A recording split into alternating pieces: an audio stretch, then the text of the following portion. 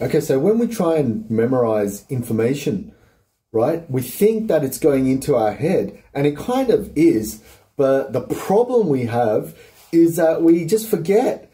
We forget the information, we forget what's going in there, we have to go back and repeat.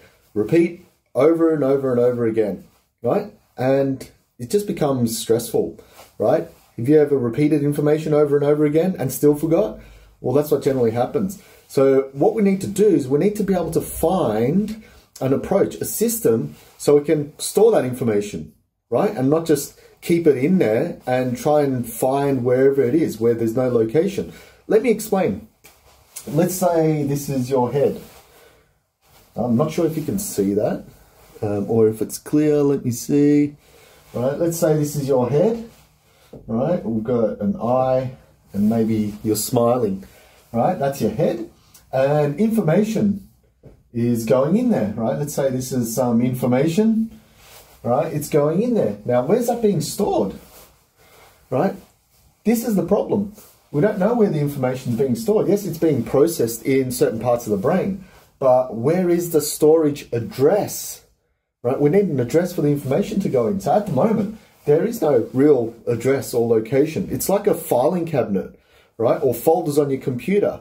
Um, at least if you've got information that you want to store away on your computer, you can pop them onto the folders, right? So therefore, you probably know where all the files are on your computer mostly because you know where it's stored, right? It's not the same here because we just read information, whatever it is, whether you're studying, whether you're uh, reading something in general, uh, whether you're trying to remember someone's name, whatever it is, we're trying to store it out in the wilderness in our brain, right? Without any location. So it's really difficult. So what we do is we go back and repeat, repeat over and over again, trying to solidify that information into long term memory. But it doesn't necessarily stay in there, right? Repetition, while it's a memory strategy, it's very, very weak and it's difficult to rely on, right? Yes, there's some people that have mastered repetition, but you know what? I've used it for years and I've never really had success with it. Right? So, what can we do? Let's have a look. Right? What we need to do is we need to create little storage blocks in our head, right? Like folders. Right? Let's say that's that's your brain. You've got those little storage components. And you can have as many of these components as you want right? Not 10, 15, 20, you can have literally a thousands, right? You obviously have to know how to create them. So we'll just go through very basics of it. Then what you do is you add whatever you need to store, you add into these blocks of information, right? So whether that's 10 things you want to remember, whether that's a thousand things you want to be able to remember, they can be stored into those folders in your brain, right? And then what happens is, let's say you know, the information's gone, right? Let's just redraw your eye, right? Let's say the information's gone and then someone says, hey, what was that bit of information on? What was that person saying? What was the name of such and such? What was, you know, this talk about? Whatever it is. Uh, what was that bit of law about? What was this, uh, you know, bit of information for the medical exam? All that sort of stuff, right? Then what you can say is, okay, let me just go to the folders in my head there they are. Oh, that was that, that was that, that was this person's name, that was that address, and so on. Right? You can go back and recall these perfectly. Right? That's the thing we need to be able to do. We need to be able to create these holding spots. So you're saying, Tansel, how do I create these holding spots? Right? There's a number of ways. Right? Number of ways. Uh, one way that I talk about is the method of loci or memory palace, journey technique, whatever you want to call it. I've got uh, quite a few videos on that uh, in my YouTube channel, right? But very basically, I'll just explain it here. It's essentially the method of loci. It's uh, walking through a familiar location or a spot and adding points, almost like points of interest, right? Locations to store information in. So I'll just go through a very basic one. So let's see, you can, you can see that, yeah? So I'm just going to show you five locations, right? And how I'm going to do it is I'm going to set it up that my main location, my main journey, right, is my house, right? So I've got my house and I've got five points heading into my house. Now, the method of loci, or memory palace, whatever you want to call it, it's a sequential order remembering system. So you remember things in order. If you want to randomly, you can try this, but you'll have to sift through a certain thing. So I'm just showing you how to remember in order. Most of the things are like that anyway. So the first thing that I see now, what I want to do is because it's in order, I want to start from say the start of my house and go through to the end, right? So the start of my house, I've got a fence. So I'll put fence in there. And as I move through from the fence, I've got, uh, what have I got? I've got a door. Then from my door, I've got like a living area and stuff, but it, it, it's too general for me. I want to be able to pick something specific. So I open the door that's closest to my front door and it's a bedroom. Now, instead of saying bedroom in here, I need to be able to pick something specific, right? It's a lot easier to memorize that way. I'll, as I'll go through, we'll, we'll explain. So in my bedroom, I've got a window, right? And I'm going through this in a sort of um, clockwise order of how I see it, just to create some order in my brain. So I've got a window, I've got a bed, and I've got like uh, some drawers. You know, let's say, right? Some drawers in there full of clothes. Okay, so I've got those five things in there.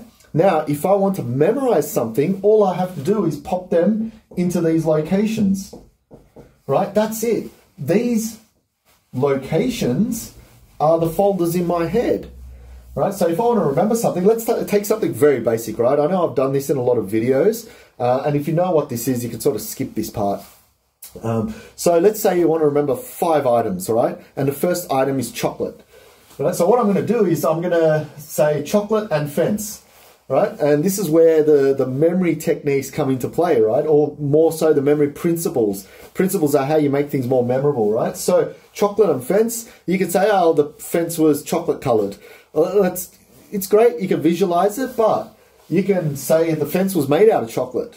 Now, now you're delving into creativity territory, right? Imagination territory. And that's what you're meant to do when you're trying to memorize something. Try and use your full abilities right? So the fence was made out of chocolate. Maybe someone's taken a bite as they're walking past my house, right? Silly story, but you remember it, right? Next one, you got door, and let's say um, a mobile phone, right? You've got a mobile phone. Maybe someone throws it at the door. It makes this loud noise, and you open the door, and there's mobile phone. There's pieces everywhere, right? I'm sure you probably wanted to do that with your phone. so mobile phone and door. Then I've got windows, and let's say, um, I'm just looking around the office now. Let's say a glass, right? A cup, glass cup. We've got a glass cup and windows. Now, windows, sort of glass, a glass cup. You're thinking, oh no, I'm to make a story. It's to get all mixed up. Well, this is where you use your imagination. Maybe the glass cup is really big and you're trying to fit it through this window and it's not happening. It's not getting through. So you smash the glass through it. And the glass, glass cup, doesn't get broken at all. Right? Now, in your brain, you're going, but that's not possible. The glass is going to break. Well, in your head, remember, you can do whatever you want. This is the power of the brain. Right? So, your glass and windows, probably not the best example, but you will see. Then we've got bed. Let's say bed and what have we got? We have, I'm just going to go around here and check. You know what? Bed and pen, right? Bed and pen you could say someone drew all over your bed with the pen, right? Let's say your bed is all white and this is a black pen. Well, black pen went all over your white bed, right? It's easier to see, right? Now the last one, you got drawers, so you know full of clothes in there and stuff. Uh, I'm gonna say, I've got more chocolates here. This office has gone crazy. Um, you know what? I'm gonna say spray. There's some sort of a spray here in the office. I am not sure what this is. It's a multi-purpose one. So there we go. We've got spray and I'm spraying the drawers. I don't want any germs in there. Right now, yeah, that's, that's kind of boring. So how can we improve it? Right? Maybe I spray the clothes inside the drawers and it's all wet.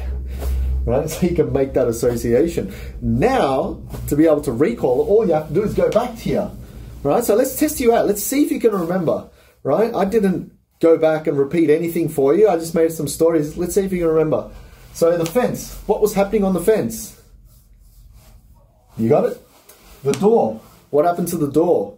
Something was thrown at it. broken. Window. Something went through the window, right? If you remember the story, you'll remember the item inside that folder, right? The bed. What was happening on the bed? And finally, the drawers. What do we do to the drawers? Right? If you recall that really easily, right, then you're able to use this technique successfully. And, you know, we just did five. You can have 50, 500, 5,000 of these, right? Uh, obviously, you'd have to memorize the 5,000 or have them in a spreadsheet like I do, because I don't fully memorize my locations. But you can use them for so many things, right? And I'll create more videos on how to use this method for more practical applications like, you know, speeches or for exams or studying or things like that. Because um, you know it's a really powerful technique but there are other techniques in there as well. So stay tuned. Um, subscribe to the youtube channel as well if you follow me on all the other socials. Just say hi message me. Uh, i promise i'll message back and i'll see you in the next video. Cheers